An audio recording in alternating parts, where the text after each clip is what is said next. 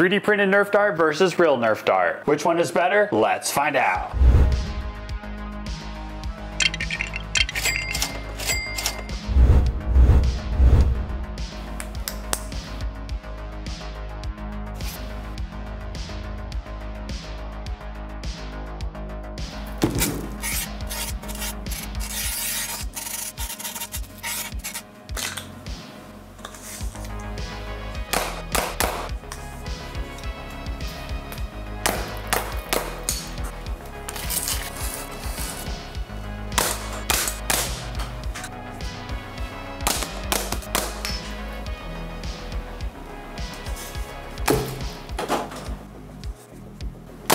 3D printed wins.